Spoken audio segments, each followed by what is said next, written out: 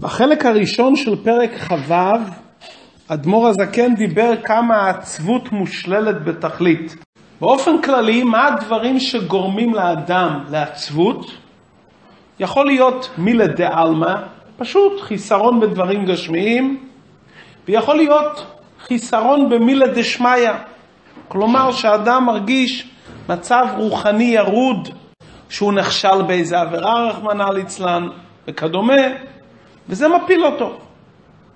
איך אפשר להיפטר מזה? דיברנו שהחשיבות של השמחה, וכי השמחה זה זריזות ופתיחות הלב, ותחת אשר לא עבדת את השם אלוקיך בשמחה, אבל אנחנו חיים בעולם, ואין אדם שכל הזמן טוב לו ברוחניות, טוב לו בגשמיות. תמיד יש הרי מצבים שונים. מה העצה שאדם יכול להיפטר מכל עצבות, הן ממילה דעלמא, מעניינים גשמיים של העולם, והן מעניינים רוחניים.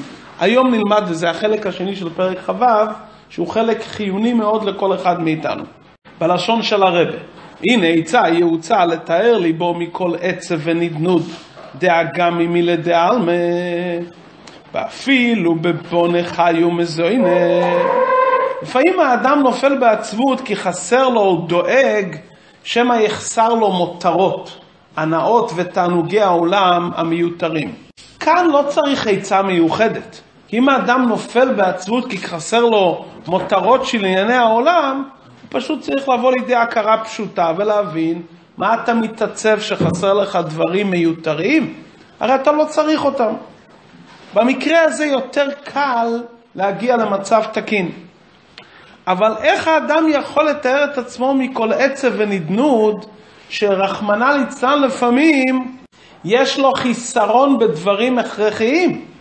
בונה, חיים, בריאות, פרנסה. מה אז הוא יכול, איך הוא יכול אז לדבר לעצמו שלא להיות בעצבות? הרי המשפחה והפרנסה והבריאות זה דברים שהם דברים הכרחיים. פה זה לא דבר שאדם יכול לומר, אני יכול לוותר על זה. מודעת זאת לכל, מאמר רבותינו ז"ל, כשם שמברך על הטובה. פירשו בגמרא לקבולה בשמחה. הגמרא אומרת במסכת ברכות שחייב אדם לברך על הרעה כשם שהוא מברך על הטובה. מה הכוונה? לא מברכים את אותו ברכה. שקורא לאדם שמחה ומברך הרי שהחיינו וכדומה, שקורא לאדם עניין בלתי רצוי ומברך דיין האמת. נוסח הברכה לא שווה. מה הכוונה שאדם חייב לברך על הרעה כשם שהוא מברך על הטובה? אומרים חז"ל שבאותו רגש שהוא מודה להשם על שמחה שקרה לו איזו בשורה טובה, באותו אופן הוא צריך גם להודות להשם ולקבל בשמחה, לקבל את זה, לא לכתחילה. אחרי שזה קרה, הוא צריך לקבל את הדברים ולומר, ריבונו של עולם, אתה עשית את זה, זה הכי טוב, אם זה מה שעשית. זאת אומרת, אדם צריך באותו אופן ממש, שהוא מברך על דבר של שמחה, כלומר, טובה נראית ונגלית, באותו אופן. שאלה נשאלת, איך זה יכול להיות? הרי זה הפך הטבע. אדם הוא בן אדם גשמי. אדם הוא עשיר מופלג, ברגע אחד איבד את הרכוש שלו. יש אדם, הוא נעשה עני שצריך לחזר על הפתחים. שהוא יהיה שרוי ברגש אמיתי של שמחה, בדיוק כמו עני שהיה עני כל ימי חייו, ופתאום מצא איזה מטמון. העני שהיה עני ומצא מטמון, יש לו שמחה אמיתית.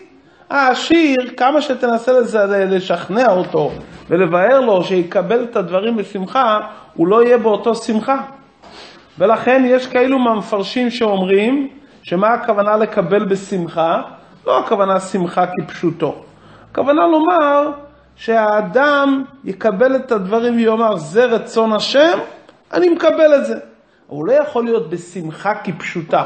לקבול, אני מקבל את זה מתוך הבנה, טוב, אם זה מה שהשם רוצה, אני מקבל את זה.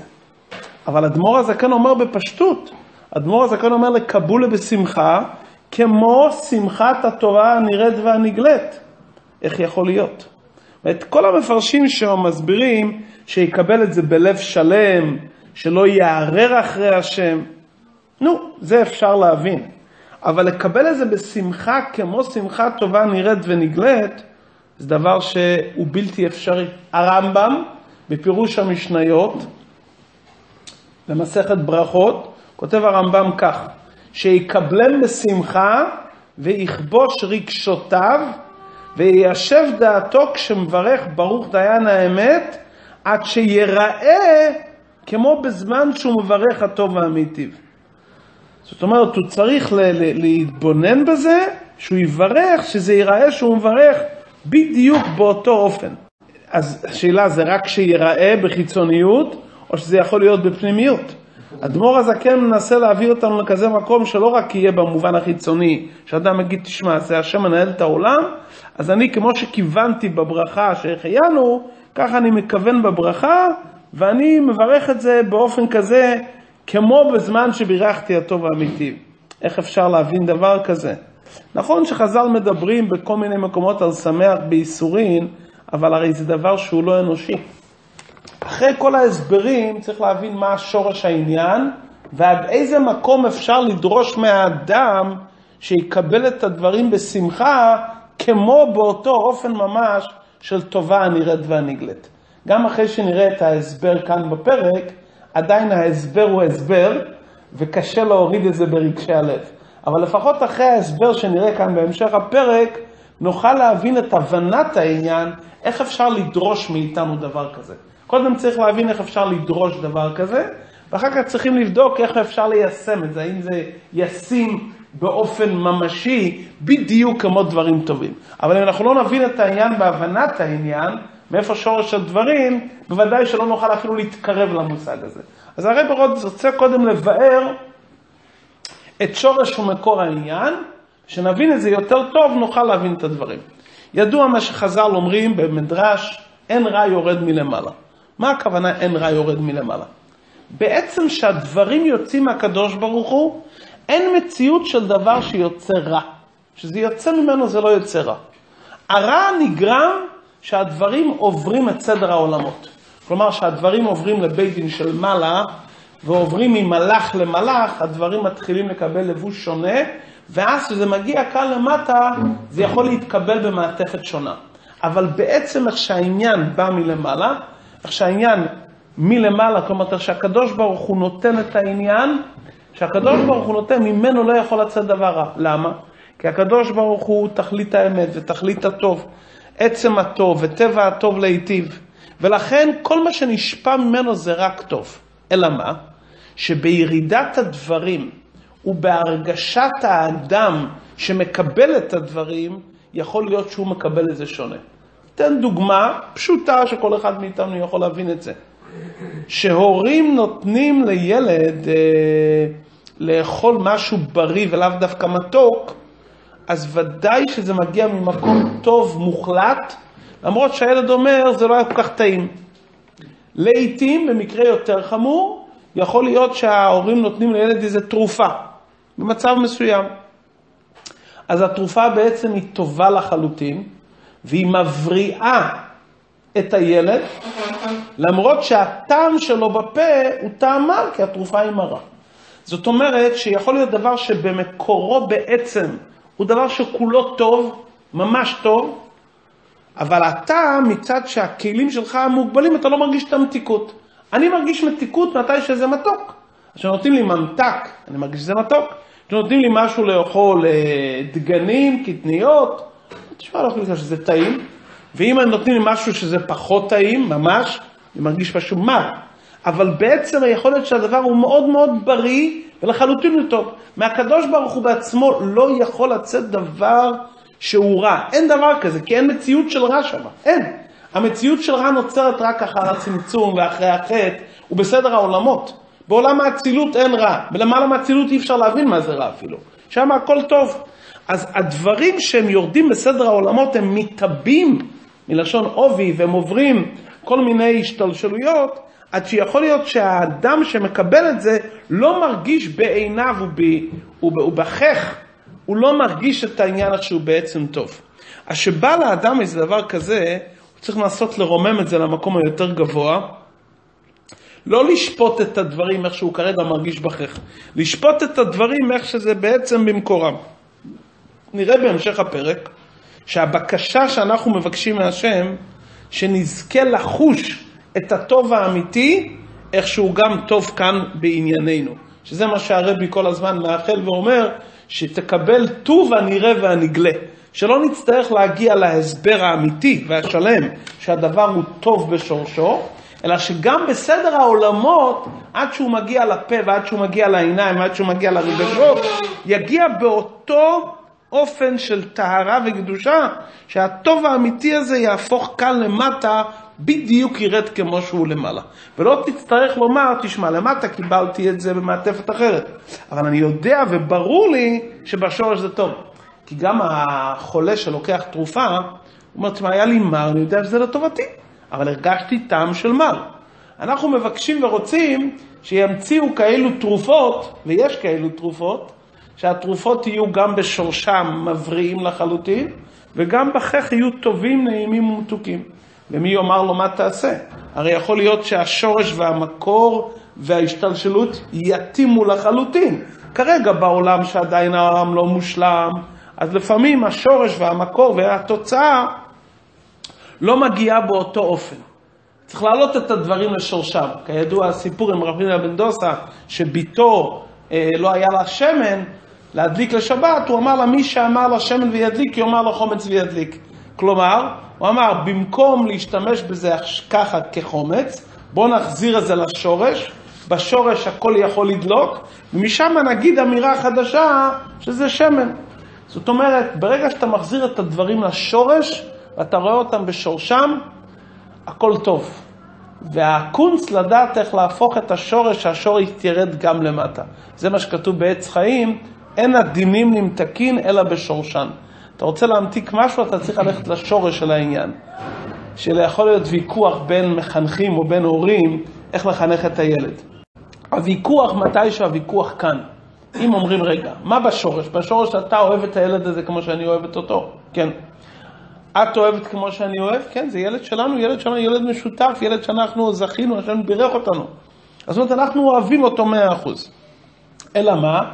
שאני מבטא זה ככה ואתה מבטא ככה, אז נמצא את הדרך איך לבטא באופן שהאהבה האמיתית תתגלה כאן, גם, גם כאן למטה באהבה גלויה. כשאנשים שוכחים את השורש, אנשים מתחתנים. מתחתנים כדי להיות בשמחה, באהבה ובאחווה, כמו שמברכים בשבע ברכות. אחר כך עובר חיים ונכנסים לכל מיני מטלות וקורה כל מיני חיכוכים. אין הדינים נמתקים אלא בשורשן. בואו נחזור לחודש הראשון, לחצי שנה הראשונה. איך היה אז? מה, מה אז דיברנו? איך, היה, איך אז הסתכלנו על החיים? מה הבטחנו לעצמנו? מה אמרנו כל אחד לשני? היינו בטוחים. מה קרה? אחר כך זה ירד מהשורש. בואו נחזיר את הדברים לשורשן ומקורן. בשורש של הדברים, הדברים הם תמיד, טובים. בלשון החסידות זה נקרא עלמא דיתקסיה. עלמא דיתקסיה זה עולם שהוא הרבה יותר מואר והרבה יותר טוב מהעולם הגלוי. בעולם המכוסה הכל בריא, הכל נקי. בעולם הגלוי יש טוב ורע. מיעוטו טוב, חציו טוב, רובו טוב, אבל בעולמות הגלויים כבר יש תפקיד לרע. בעולמות המכוסים אין רע. בעולמות המכוסים הכל טוב לכתחילה. אבל כשזה יורד, זה יכול לרדת באופן אחר. זה מה שאמר נחומיש, גם זו, גם זו לטובה. כלומר, הוא הבין וראה שגם זה אם משתלשל כאן למטה באופן אחר, בעצם בשורש זה טוב. ומכיוון שהוא האמין באמונה שלמה ובוודאות מוחלטת, ששלחו אותו בשם עם ישראל, אז בוודאי שזה לטובה ולברכה, אז זה נהפך שהשורש ירד גם פה למטה ככה. למרות שזה התחלף הרי מאבנים טובות ומרגליות לאבנים, אבל ברגע שהיה אצלו ברור שהרי לא יכול להיות שהוא בשליחות של עם ישראל יהיה נפילה, אז הוא זכה שגם יתהפך גם כאן למטה. בואו נראה את זה בלשון נתניה. כי גם זו לטובה, רק שאינה נגלית ונראית לעיני בשר. כי היא מעלמא דאיטקסיה שלמעלה מעלמא דאיטגליה. העולם המכוסה זה כינוי לאור אינסוף בעצמו. זה עולם שהוא סתום ומכוסה. עלמא דאיטגליה זה האור האלוקי המצומצם, לכן זה נקרא אור אלוקי גלוי. אז הדברים שהחיות שלהם האלוקית נמשכת מעל מדיד, גליה, אז זה אור אלוקי מצומצם שמתגלה לנבראים. אז לכן הטובה שבדברים האלו היא נראית ונגלית לעיני בשר. והדברים שהחיות האלוקית שלהם נמשכת מעל מדיד קסיה, בגלל שזה אור יותר נעלה ומרומם, לכן לא מרגישים את הטובה שבהם מיד. נתתי לך משהו יותר עוצמתי, רק אין לך כלים כרגע לקבל את זה. בעצם נתתי לך משהו הרבה יותר טוב.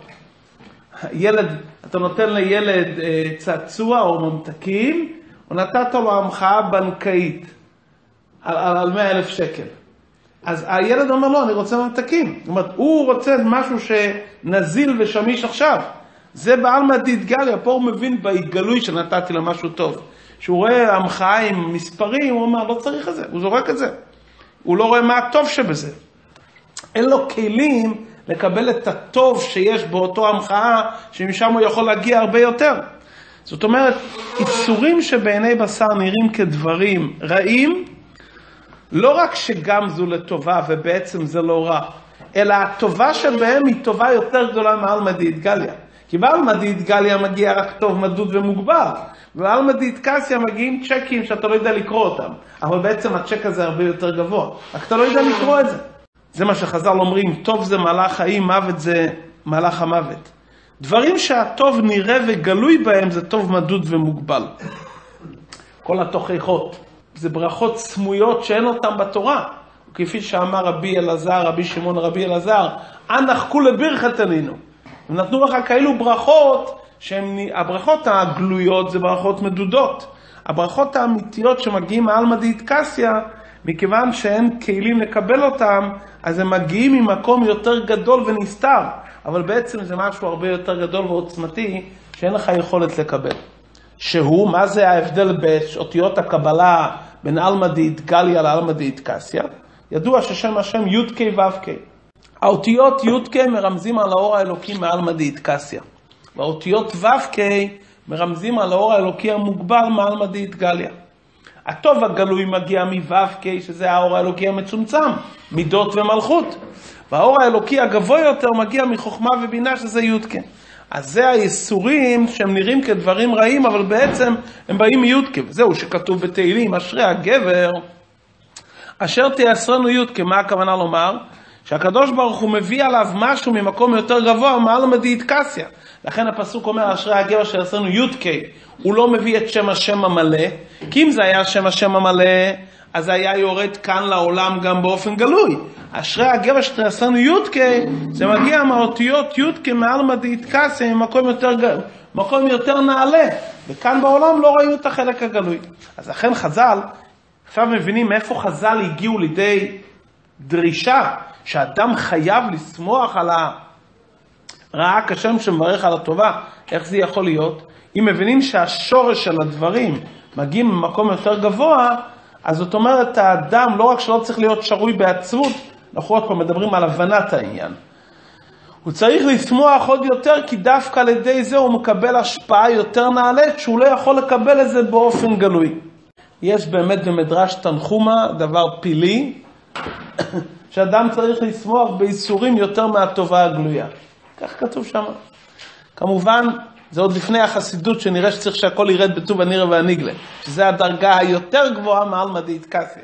יש עלמא דאיטגליה, עלמא דאיטקסיה, ואנחנו היום מבקשים מהשם שהחסדים יגיעו ממקום שלמעלה מעלמא דאיטקסיה, שמשם גם הטוב הלא מוגבל יכול להגיע בטוב גלוי, נעים ונחמד, שזה התחברות לקדוש ברוך הוא בעצמו. כמו שאומרים בתפילות, ואוצרך טוב לנו תפתח. ואוצרך טוב, אז יש שני אופנים איך לקרוא את זה, ואוצרך טוב לנו תפתח, או ואוצרך טוב לנו תפתח. אוצרך טוב, פסיק, לנו תפתח, אוצרך טוב, אבל יכול להיות שזה מעל מדיטקסיה, ואני אקבל את זה באופן הפוך מטוב הנראה והנגלה. זה אוצרך הטוב. והבקשה היא, ואוצרך הטוב לנו, פסיק, תפתח. תעלה את האוצר לא לעלמא דאיטקסיה, אנחנו קשורים עם עצמוס, לא עם יודקה. ואתו תצווה. מה זה ואתו תצווה? לא יודקה. יודקה זה אותיות, יודקה ו"ק זה שמות. מה זה פרשת השבוע ואתו תצווה? שאנחנו בעצם קשורים עם האתו שלמעלה מכל השמות. ושקשורים עם אתו שלמעלה מכל השמות, אז במקום הזה לא צריך להגיע להסבר שזה מגיע מעל קסיה. שם גימלה ואתו, אז שם ויצורך טוב לנו, מהקדוש ברוך הוא בעצמו שירד כאן למטה באופן גלוי. עלמא דאיטקסיה זה ארבע עולמות של הביאה? לא, לא, לא. עלמא דאיטקסיה זה מאצילות. עלמא דאיטגליה זה בריאה, יצירה, בריאה, יצירה ועשייה. עלמא דאיטקסיה זה עולם האצילות ולמעלה.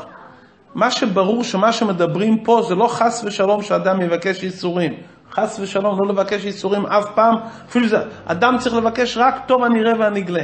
אנחנו מדברים כרגע, אחרי שקרה משהו, אז אדם אומר, אם קרה כבר, אז השם נתן לי כנראה מעולם יותר גבוה. ולכן אמרו אז רבותינו ז"ל, כי השמחים בייסורים, עליהם הכתוב אומר, ואוהביו כצאת השמש בגבורתו. הז"ל אומר שמי ששמח בייסורים, אז הקדוש ברוך הוא קורא לו אתה אוהב של השם, ומה השכר שלהם? שהם יזכו לראות את צאת השמש בגבורתו. צאת השמש בגבורתו, הכוונה הם יזכו לראות את הקדוש ברוך הוא שנמשל לשמש, שהקדוש ברוך הוא נמצא בתכלית הגבורה, בתכלית ההתגלות, הם יזכו. לפי פשוטו של דברים, כוונת הכתוב, שאלו שאוהבים יזכו להידמות לשמש. אבל כאן אנחנו אומרים יותר עמוק מזה, שאלו שאוהבים את השם, הם יזכו לראות כצאת השמש בגבורתו, הם יראו את הקדוש ברוך הוא בשיא הגדלות. צריך להבין פה כמה דברים. למה מי ששמח בייסורים, רחמנא ליצלן, נקרא אוהב של הקדוש ברוך הוא? ומה זה המעלה לצאת השמש בגבורתו? למה כאן מדמים את הקדוש ברוך הוא לצאת השמש בגבורתו? אנחנו יודעים שכל דבר שהקדוש ברוך הוא נותן זה מידה כנגד מידה. מה פה המידתיות? שמכיוון שהוא שמח בייסורים, אז הוא נהיה אוהב השם, אחד. שתיים, הוא זוכה לקבל את הקדוש ברוך הוא, איך שהקדוש ברוך הוא נקרא צאת השמש בגבורתו. לפי מה שדיברנו לעיל זה מובן מאוד. הוא שמח בייסורין, זאת אומרת, הוא מבין שיש פה משהו שמגיע ממקום עמוק יותר. יש מי שרוצה את השמש עם המגן. השמש עם המגן מביאה אור אלוקי מוגבל. ויש מי שהוא מבין שהשמש, שהשמש נמצאת בטהרתה, זה משהו יותר עמוק מהשמש עם המגן. בלשון של התניא, כן. כי, השם, כי השמחה היא מאהבתו קרבת השם יותר מכל חיי העולם הזה. ממה זה נובע שאדם מקבל את זה בשמחה? כי הוא אוהב את קרבת השם יותר מכל חיי העולם הזה. אז בעצם כרגע הוא יותר מתקרב להשם. כי עד עכשיו שהיה לו טובה גלויה, הוא קיבל מעמדי דגליה. עכשיו שהיה לו טובה לא גלויה, אז בעצם הוא מקבל השפעה ממקום יותר גבוה. אז בזה שהוא מקבל את זה ושמח, אז הוא מדגיש שיותר יקר אצלו להיות קרוב להשם, מאשר לקבל משהו יותר טוב לו, אבל יותר רחוק מהשם. הגוף הגשמי מרגיש עניינים גשמיים, הגוף הגשמי מרגיש רק את הצער הגשמי. אז אדם שאוהב את חיי העולם הזה, גם הוא מבין בשכל שזה מגיע ממקום יותר גבוה, הוא לא יכול להרגיש שמחה במצב של איסורים רחמנא ליצלן, כי חיי העולם הזה זה העיקר אצלו, אז הוא לא יכול לשמוח שהגוף הגשמי מרגיש צער, הוא אומר כל ההסברים טובים, אני לא יכול, אני הגוף שלי זה הדבר העיקרי, כמו שאצל רובן, רובם ככולם ברוב הזמנים. אז מה, אני אשמח, אני מרגיש את הגוף שלי. אבל זה שאוהב את השם יותר מכל חיי העולם הזה, אז למרות האיסורים שיש לו, מכיוון שהוא אוהב את השם, והוא מבין שעכשיו הוא, הוא לא מרגיש, הוא מבין שעכשיו הוא מקבל ממקום גבוה יותר, שלכן הוא לא כלי לזה, זה מגיע מעל מדית קסיה, אין לי כלים לקבל את הדברים האלו, אז הוא אומר, כרגע אני נמצא בקרבת השם, אני נמצא במקום יותר נעלה, אני מקבל ממקום יותר נעלה.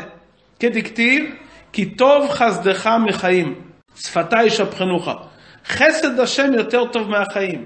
אז שאני מקבל חסד השם מעל מדית קסיה, כי עד עכשיו קיבלתי משהו מצומצם, עכשיו אני מקבל ממקום יותר גבוה. אז ברגע שהוא מקבל את האיסורים, למרות שזה הפך החיים הגשמיים, כי מתמעט אצלו בבריאות וכדומה בפרנסה, אבל הוא אומר, רגע, עכשיו אני מקבל הרי מעל מדית קסיה. שעלמא דאיטקסיה זה מקום יותר נעלה מעלמא דאיטגליה. דוד המלך שאהב את קרבת השם יותר מכל חיי העולם הזה, אז גם מתי שבאו עליו ייסורים רחמנא ליצלן, הוא אמר, טוב חסדך מחיים שפתי ישפכנוך. החסד שאתה מקרב אותי עכשיו, למרות שהלבוש הוא ייסורים, זה יותר נעלה מכל מה שאני מתקרב אליך על ידי ענייני העולם הזה. אז הוא משבח את השם. בקרבת השם היא ביתר שאת ומעלה לאין קץ בעלמדית קסיה. כי שם חביון הוא זו ויושב בסתר עליון. שם במקום הזה הקדוש ברוך הוא מוסתר בעלמדית קסיה, זה המקום שהקדוש ברוך הוא נמצא. יושב בסתר עליון, זה הולך כאן לפי הפירוש הפנימי הקדוש ברוך הוא. לא לאדם שיושב בסתר של הקדוש ברוך הוא, לפי הפירוש הפשוט, אדם שחוסה בכנפי השכינה, או שאדם מעיין בסתרי תורה, זה לפי הפירוש הפשוט יושב בסתר עליון. לפי הפירוש הפנימי יושב בסתר עליון הולך על הקדוש ברוך הוא. שהדרגות הכי גבוהות של הקדוש ברוך הוא זה בסתר, זה באיטקסיה. יש הקדוש ברוך הוא הגלוי. ההנהגה האלוקית הגלויה, ויש הנהגה אלוקית מעלמדית קסיה, שנקראת יושב בסתר עליון. וכרגע אני, ברגע שאני מקבל את זה בשמחה, אז אני מכריז שהגוף שלי הוא טפל, והעיקר זה מה שאני רוצה את השם. אז לכן מובן למה אלו ששמחים בייסורים נקראים אוהבי השם. כי מי שרוצה את עצמו אז הוא אוהב את הגוף. אבל זה שאדם יודע שכרגע יש פה משהו שמגיע ממקום יותר גבוה, אז בזה הוא מראה שהוא אוהב את השם. עכשיו נבין למה הוא זוכה לצאת השמש בגבורתו, מידה כנגד מידה. ועל כן זוכה לצאת השמש בגבורתו לעתיד לבוא, שהיא יציאת חמה מן ארתיקה, שהיא מכוסה בו בעולם הזה, ולעתיד תתגלה מכיסויה. הגמרא אומרת בעבודה זרה שלעתיד לבוא, הקדוש ברוך הוא יוציא את החמה מן. מה, מה, זה, מה זה קשור ב, לענייננו? חמה הולך על שם הוויה. בזמן הגלות יש נרתיק שמכסה על שם השם. שם השם לא מאיר בכל תוקפו וגבורתו. שם השם עובר דרך שם אלוקים. זה זמן הגלות. לעתיד לבוא יתגלה שם השם איך שהוא בעצמו. הדרגות שהיום נסתרות בשם השעה יתגלה. זה הפירוש מוציא חמה מן ארתיקה, הקדוש ברוך הוא מוציא את שם השם מהנרתיק זה יתגלה איכשהו בעצמו, כמו בפשטות. אור השמש מצד עצמו הוא מאוד חם. אם הוא מאיר בכל התוקף, הבריות לא יכולים לקבל אותו. אז חייב שיהיה נרתיק שנוכל לקבל את הדברים. אצל אברהם אבינו הקדוש ברוך הוא הוציא חמה מנרתיקה, כדי שהבריות לא ייצאו. אז מי יכל לצאת רק אז? רק מלאכים. כי שמש הוא מגן השם אלוקים, יש נרתיק שמגן על השמש, כך שם אלוקים, הנהגה הטבעית, זה מרתיק ונגן לשם הוויה. אז הנרתיק מצמצם את אור השמש, והוא מאפשר לבריות שיוכלו לסבול. שם אלוקים מסתיר על שם הוויה שיוכלו לקבל אותו. אבל בעצם שם הוויה מצד עצמו, למעלה מהשמות, למעלה מהאותיות שם הוויה שבעצם, אז זה רק יתגלה לעתיד לבוא, שאז שם השם יאיר בתוקפו. למי הוא יאיר בתוקפו? למי שכבר עכשיו בעולם הזה הבין שהעיקר זה להיות מחובר לא עם האור האלוקי המצומצם שאני מבין אותו, אלא לקבל את האור האלוקי איך שהוא נמצא בהתגלות מצד השורש, במקום שאני כרגע לא כלי, כי אני כרגע כלי רק למה שהאור האלוקי מצומצם, שאני יכול להשיג את זה. אז זה המידה כנגד מידה, ברגע שהוא קולט שגם בחלק הזה הקדוש ברוך הוא נמצא וביתר שאת, אז מידה כנגד מידה הוא יקבל את עלמא דאיטקסיה, דהיינו שאז יתגלה עלמא דאיטקסיה ויזרח ויאיר בגילוי רב ועצום.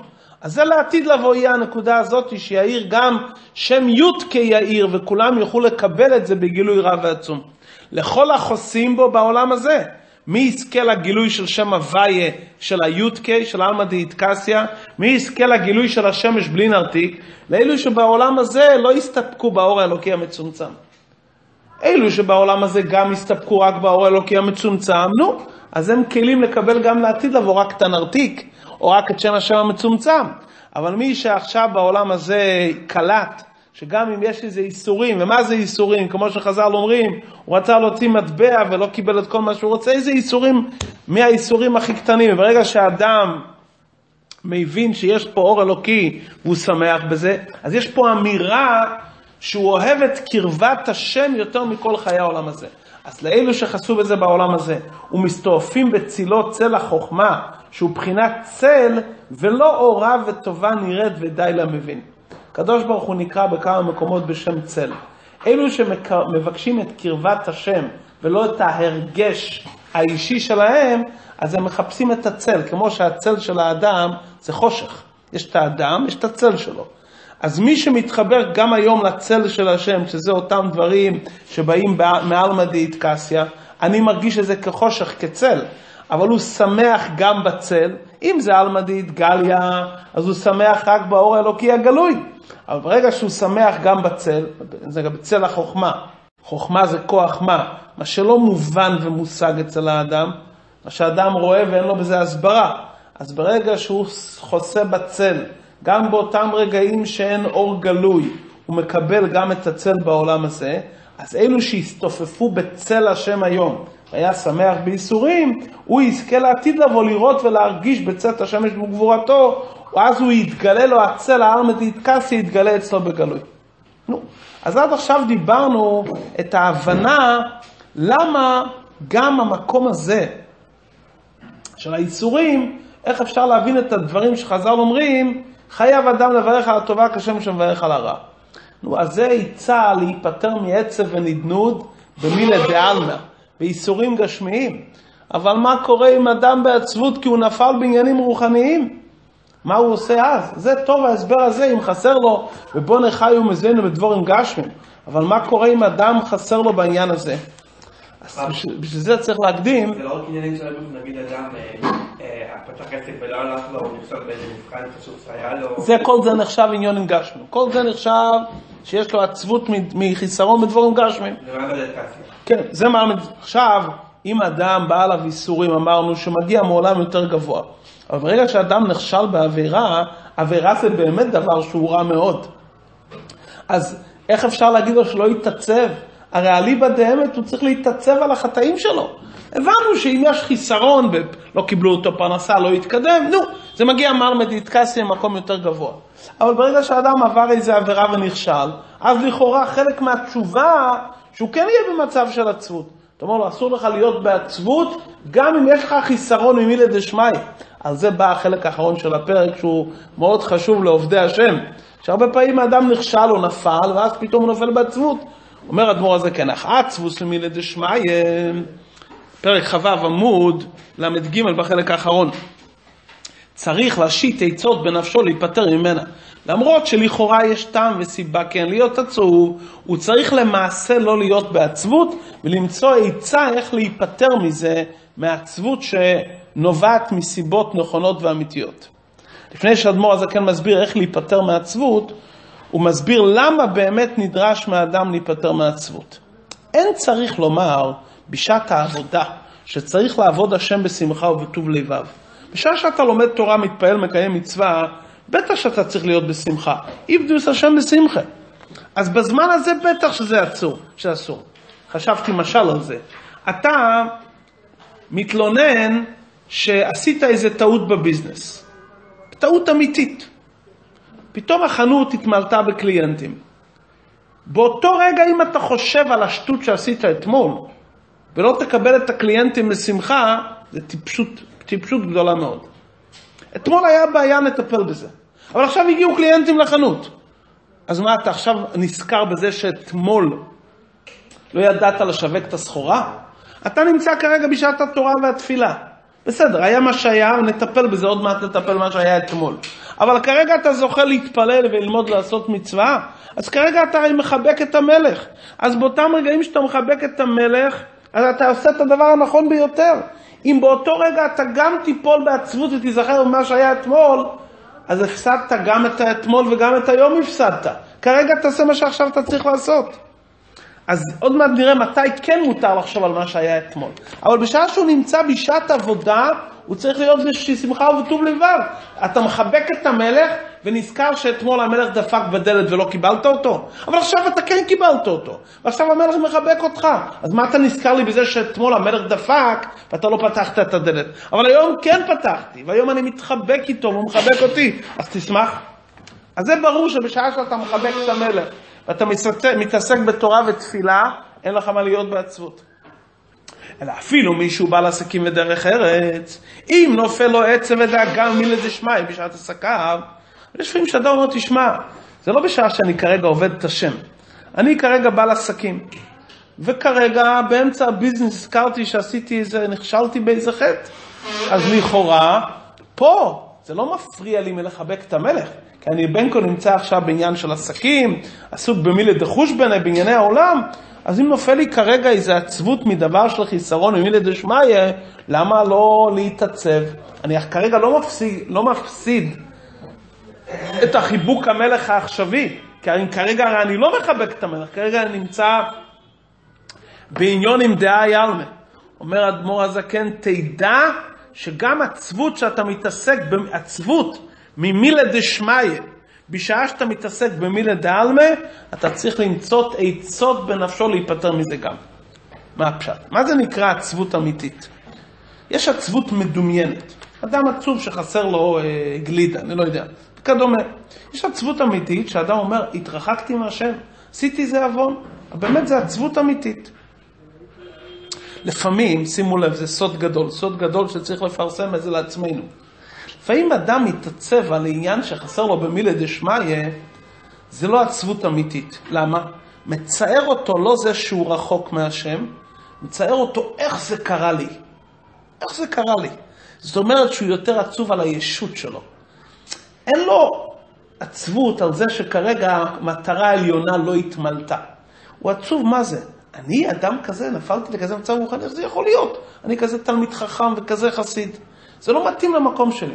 זאת אומרת, בעצם הוא לגמרי לא עצוב על זה שהכוונה העליונה לא התמלתה. הוא עצוב על זה שהוא נפל. וזה ישות וגאווה, וההבדל בין כזה עצבות לכזה עצבות, זה יותר רחוק ממזרח למערב. עצבות אמיתית שאתה אומר, הכוונה העליונה לא התמלתה. היה פה ריחוק מהקדוש ברוך הוא, הבנה כזאת היא תביא אותו לזינוק קדימה. אבל עצבות, איך זה קרה לי? זה ישות, זה הרגש עצמוי, זה מביא את האדם ליפול בתאוות. כי כשאדם שנופל בעצות מילי דשמיא, מצד הרגש עצמו, ולא מצד המרחק מהקדוש ברוך הוא, האדם הזה מחפש סיפוק ועונג. מה, לי זה קרה ככה, איך זה יכול להיות? אז הוא נופל בעצבות. ממה? מהמקום שהוא רוצה לחפש את הטוב שלו. ואדם כזה, היות והוא לא מצליח, אז הוא נופל בטוב אחר. אז עץ הרע מפיל אותו אחר כך בעונג ובתאוות גשמיות. כי בעצם הוא מחפש סיפוק מעצמו. ולמקום רוחני הוא לא מצליח להגיע, כי הוא לא, לא כואב לו כל כך המקום הרוחני, כואב לו איך זה קרה לו, אבל מצד שני, הוא, הוא, הוא, אני נפלתי שם, זה לא טוב, אני נפלתי במקום הזה, מה אני, לא מתאים לי. אז הוא מחפש דברים אחרים שיספקו אותו, וזה מביא אותו, יכול להביא אותו ליפול בעניין של תאוות.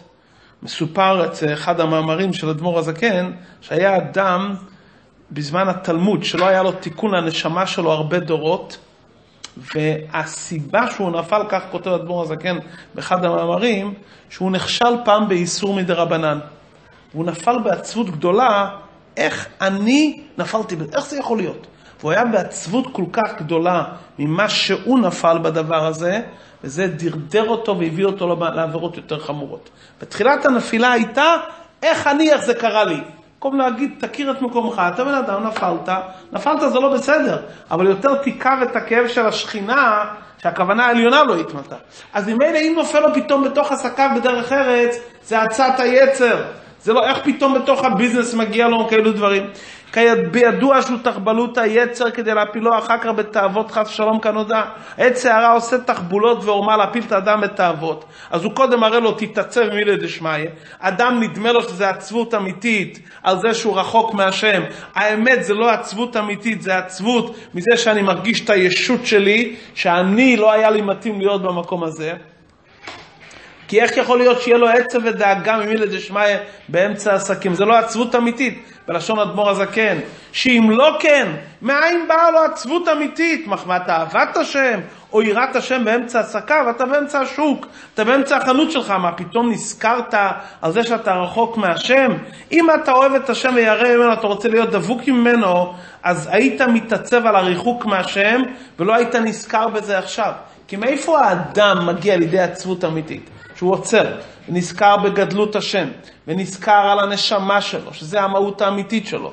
ואז פתאום אכפת לו למה הכוונה העליונה לא התבצעה על ידי. אבל אם אתה נמצא באמצע עסקים הגשמיים, מאיפה פתאום בא לך רגש אמיתי? מה נופל לך באמצע עסקים גשמיים? שאתה לא מרוצה מעצמך, זה לא מתאים לך שנפלת בכזה מקום. אז זה מגיע מהקליפה. זה רגע של עצבות שמתעסק באמצע עסקיו, זה, זה לא עצבות אמיתית. תדמור הזה כן נותן לנו פה הבחנה לדעת מה זה עצבות אמיתית על דברים אמיתיים, באופן נכון ובזמן אמיתי, או עצבות שנראית לך כעצבות מדברים רוחניים, בעצם, בעצם זה תחבולות היצר. אז דבר ראשון צריך לאבחן. אומר אדמו"ר הזקן, גם אם נופל לך עצבות אמיתית בזמן נכון, גם אז תשלוט. תשלוט לדעת מתי וכמה לעשות את החשבון הנפש. תסיח את... והנה, ככה אדמו"ר הזקן מסיים את הפרק. בין שנפלה לו העצבות בשעת העבודה בתלמוד תורה או בתפילה, ובין שנפלה לו שלא בשעת העבודה, זאת ישים אל ליבו, כי אין הזמן גרמה כעת לעצבות אמיתית, אפילו לדאגת עוונות חמורים חס ושלום. שנופל לו בשעת העבודה, אז אתה מפסיד כרגע את החיבוק המלך. שלא בשעת העבודה, זה מגיע מצד הקליפה. תתבונן ותגיע לידי הכרה פנימית, זה לא הזמן כרגע. אפילו אם זה בגלל שנכשלת בעוונות חמורים. תסיח את הדעת, תעשה הסכם חזק בנפשך, להסיח את דעתך מזה לגמרי. אז מתי כן? רק לזאת צריך קביעות עיתים ושעת הכושר ביישוב הדת. בדרך כלל אדם צריך להיות רק בשמחה. יש זמנים שזה שעת הכושר, ודווקא ורק בזמנים האלו מותר לאדם להתעצב עצבות אמיתית, ואסור להוסיף על הזמנים האלו מאומה. זה, זה זמנים שאתה צריך להגביל בזמן מסוים, כי בדרך כלל אדם צריך להיות כל הזמן טרוד בתורה, תפילה ומעשים טובים, ועבודת השם צריכה להיות בשמחה. אז בדרך כלל אסור שיהיה לך זמן. הברכה הכי טובה למי שעשה כישלון בעסק, לדאוג שיהיה לו קליינטים כל הזמן בעסק. זה התשובה הכי טובה על זה שהוא עשה כישלון. תהיה כל הזמן עסוק בדברים טובים, ולא יהיה לך זמן בכלל לדברים האלו. אם אתה תרבה להיות בעצבות, אפילו על מיד דשמיא, לא יהיה לך כוח להגביר את הנפש האלוקית, הנפש הבעמית. כי כשאדם נמצא בעצבות, הוא נופל לעצלות, ואז הוא נופל לגמרי ברשת של נפש הבעמית. וזה, את החשבון המדויק, הוא צריך לעשות באיש ובדס. הוא צריך לעשות את זה בזמנים מיוחדים. מה אדמו"ר הזקן רוצה פה לומר באיש ובדס? יש אנשים שלצערנו נולדו בטבע של מראה שחורה. ויש להם נטייה טבעית למראה שחורה. בדרך כלל הם מצליחים להסיח את הדת. אבל זה לא פשוט, כי אנשים האלו יש להם נטייה. אדם צריך להיות ראוי לקחת זמן להיות בעצבות הלבנות, אבל לא בדרך ממילא. זאת אומרת, הוא לא יכול להרשות לנטייה הטבעית שלו להפיל אותו בעצבות. זה חייב להיות בהכנה ראויה ביישוב הדת. תלמד מאמר חסידות שמדבר על הנשמה. תלמד מאמר חסידות שמדבר על הקדוש ברוך הוא ועל הכוונה העליונה. תלמד מאמר חסידות שמדבר על השמחה העצומה שאתה בכל מצווה מביא את השכינה כאן למטה. ואז תאמר לעצמך, אני צריך לקבוע, ולכן לא מתאים שאני אעשה את הדבר פלוני, ואני מתחרץ על זה. אבל זה צריך להגיע ממקום של הגבהה. אם אתה נופל לעצבות בדרך ממילא, זה לא עצבות אמיתית. זה סתם מראה שחורה שרוצה להפיל אותך בעניין של תאוות. ואתה תיפול לך שלום לתאוות. רק אם אתה בא מתוך יישוב הדעת, מתוך מקום מוגבה, מתוך מקום אמיתי של מודעות פנימית, מי אני? מה הכוחות שלי? מה הכוונה האלוקית? לכן אתה מצטער, חורה לך על זה שהכוונה האלוקית לא התמלתה, ואז יש לך מזה להתבונן בגדולת השם אשר חטא לו, באותם זמנים קבועים שהוא קובע, ולא בזמן שהוא בין כך בעצרות, לא. לקחת איזה זמן שהוא מתבונן בגדלות השם. ואז הוא אומר, רגע, אם זה גדלות השם ואני יכול להתחבר איתו, אז אני רוצה באמת להגיע אליו. ואז הוא אומר, העוונות שלי גרמו להפך. במקום להיכלל בהשם, נעשה כאן מחיצה של ברזל. אז נשבר ליבו, כדי שעל ידי זה יהיה ליבו נשבר באמת במרירות אמיתית. זה מרירות אמיתית, ומרירות כזאת שהיא שוברת את הקליפה, שאדם מגיע למסקנה שהקדוש ברוך הוא החיים האמיתיים, והוא מחיה את הכל והוא מחיה אותי, והוא הוציא אותנו ממצרים והוא הוציא אותי כרגע ואני רוצה להיות דבוק בו, וחטא זה להיפרד מחיים האמיתיים, אז נשבר ליבו מהאדם הזה. אז בהתבוננות כזאת שזה מגיע מגדלות השם, זה יביא אותו לזינוק. אבל אם העצבות באה מזה שאדם מתבונן על עצמו, אני, אני, אני לא בסדר, והמצב הרוחני שלו מצד עצמו, הוא חושב על עצמו, אז גם אם הוא בלב נשבר, זה לא מרירות אמיתית. צריך טוב טוב להבחן בין עצבות ומרירות, שזה כולה ישות, לעצבות ומרירות שעניינה ביטול ודבקות בהשם. ליבו נשבר באמת במרירות אמיתית. אדמו"ר הזקן מדגיש כאן כמה פעמים, וזו הבחנה דקה ולא פשוטה. עצבות אמיתית ומרירות אמיתית מדברים אמיתיים בזמנים אמיתיים, כתוצאה ממקום שאני עומד מול האמת ואני שמח עם הנקודות האמיתיות שנמצאים בתוכי. לכן הוא אומר, באיש ובדס, לא סתם ככה שאתה לא מרוצה ונופל במיטה, ואז אתה פתאום בעצבות. זה קליפה הכל. גם אם אתה נזכר בדבר לא טוב, זה המשך של הקליפה שמנצחת אותך, ועם החשבון נפש שאתה עושה, זה הכל ישות שמביא אותך לתאוות. כמבואר את זה במקום אחר. באיגרת התשובה, אדמו"ר הזקן אומר, שבתיקון חצות או בקריאת שמע של המיטה, זה זמן מיוחד. גם זה באופן מוגבל. מה זה אה, תיקון חצות? כשאדם מצטער על גלות השכינה הכללית, ומצטער על הגלות השכינה הפרטית שבתוכו. יש לי נשמה, אני צריך להיות ביראת שמיים. מה זה ירושלים? יראה שלמה. לכל אחד יש ירושלים בלבבו. מה זה חורבן ירושלים? שנחרב אצל האדם היראת שמיים, שהיראת שמיים של האדם לא בהתגלות, הוא אומר אצלו ירושלים בחורבנה.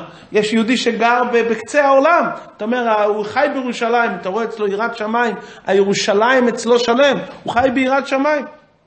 האדם שבוכה על גלות השכינה הפנימית שבתוכו, זה שעת הכושר.